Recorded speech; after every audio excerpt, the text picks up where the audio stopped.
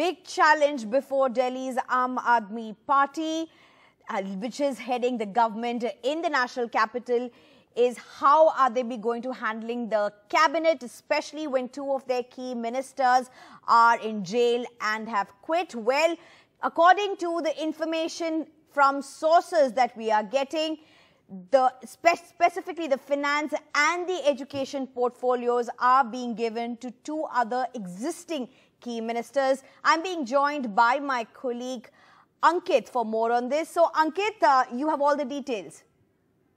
In fact, uh, uh Sneha, as you were talking since uh, morning, uh, the, the repercussion or the fallout of uh, this big resignation has not only created a gap of two ministers out of the seven in the national capital, but the 18 important portfolios which Manish Sisodia was handling, who gets those portfolios? Because most important of them was, of course, the finance ministry because the finance minister has to present the budget in the national capital in just about two weeks. So now we have the full details. Two ministers, Kailash Gahlot, Raaj Kumar Anand, both of them, uh, the 18 portfolios of Manish Sisodia have been divided between two. Kailash Gahlot gets eight ministries, including the most important finance ministry. He also gets planning, public works department, PWD, power, home, uh, urban development, irrigation and flood control and water. So uh, out of the 18, eight uh, ministries have gone to Kailash Gahlot. He's the senior minister. And he's the one, as we were talking earlier also in the day, uh, expectation was that finance will go to him because he's a senior cabinet minister who has been with Mr. Arvind Kejriwal and his cabinet for some time now. He's a member of parliament from the Dwarka constituency, uh, from the Najafgarh constituency, I beg your pardon. And uh, of the uh, 10 ministries, other 10 ministries of Manish Sisodia have been given to Raaj Kumar Anand, who is a new entrant in the Kejriwal cabinet. So Raaj Kumar Anand gets a big uh, you know, thumbs up and also a vote of confidence from Arvind Kejriwal. The important uh, uh, departments of education and health on which Arvind Kejriwal's entire Delhi model is based have been given to Raaj Kumar Anand.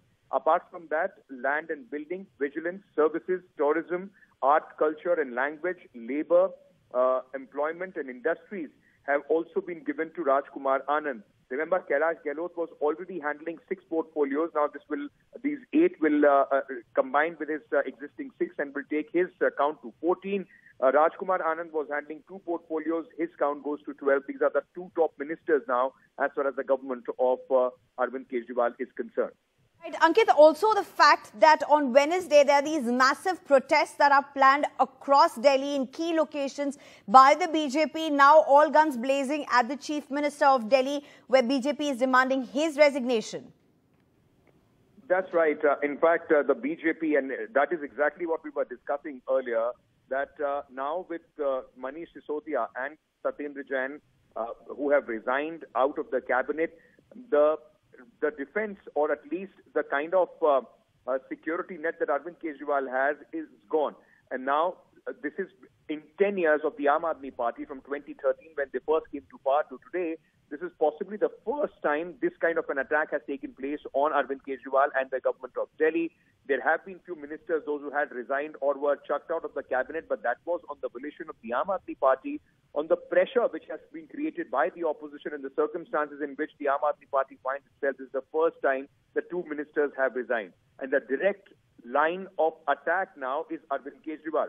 So the BJP is taking the attack right at the doorsteps of the chief minister, saying that he is the minister responsible or he is the man responsible for running the cabinet. He doesn't have any portfolios, and it is his responsibility if there is any corruption which is taking place as far as uh, his cabinet is concerned. They are saying that all these allegations of the alleged liquor scam could not have happened if the chief minister of Delhi, uh, you know, was either not uh, involved in it or did not know about it. So now they are asking for resignation. They are going to the top uh, and gunning for Arvind Kejriwal, asking for his resignation. What sources also tell us is that there is going to be a cabinet expansion. Two more cabinet ministers will come in, but that will happen in due course, not immediately. Right. Uh, thank you, Ankit, for all of those details.